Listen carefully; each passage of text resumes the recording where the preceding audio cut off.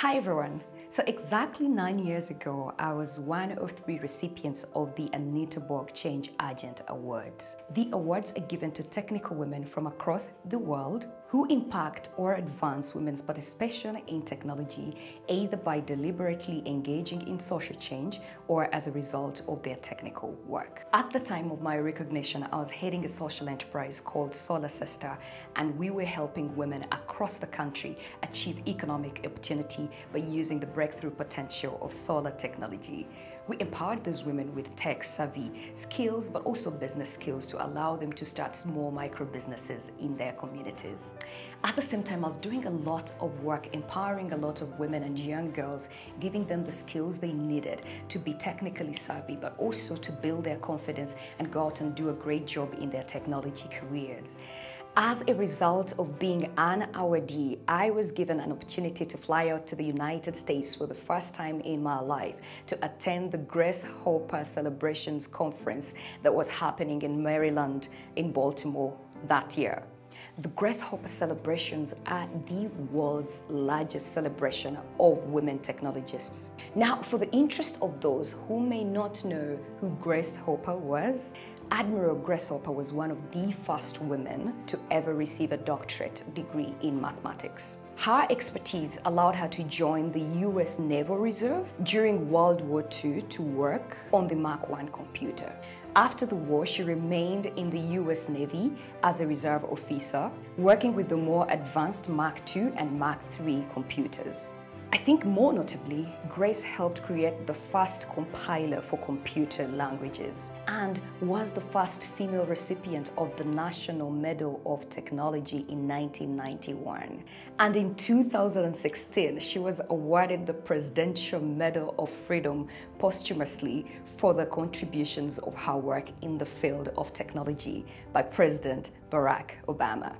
And so to honor Grace Hopper and all of her contributions, Dr. Anita Borg, as well as Dr. Telle Whitney, founded the Grace Hopper celebrations and continued to have an event every single year. This was founded in 1994 and there's been a Grace Hopper celebration ever since. Now in 2020, because of the pandemic, the Grace Hopper celebrations were forced to go virtual and the first ever global GHC happened last year in 2020. And this year, for the first time, Grace Hopper Celebrations are holding the first virtual event for Europe, Middle East, and Africa. And wait for it, yours truly has been invited to be one of the keynote speakers at the event. This is one of those full circle moments for me Nine years back, I could never have imagined that I would be given an opportunity to be a keynote speaker at one of the world's largest celebration of women technologists. And I would like that every young girl who's watching this, but also every young girl who is aspiring to be whatever they are, either in technology or any other field, to know that you can always be the best that you can and do whatever you need to do today because all of those small things really match up to bring you to a place that you need to be. I hope that my speech will inspire those young women and the young girls to keep dreaming, but most importantly, to show them that no matter how your journey starts or no matter how small your contribution is, it doesn't go unnoticed. If you'd like to be part of the first virtual Grace Hopper celebrations for Europe, Middle East and Africa, please go to ghc.anitab.org. There you will find details about registration. Scroll down to registration is now open and follow the steps.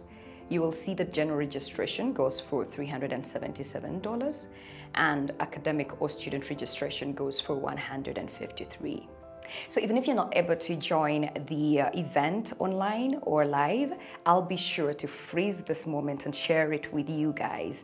So um, I'm super excited about this opportunity. I'm super excited about what it means for young girls. And I just wanted to share this news with you guys. Thank you so much. And I will see you on the next video.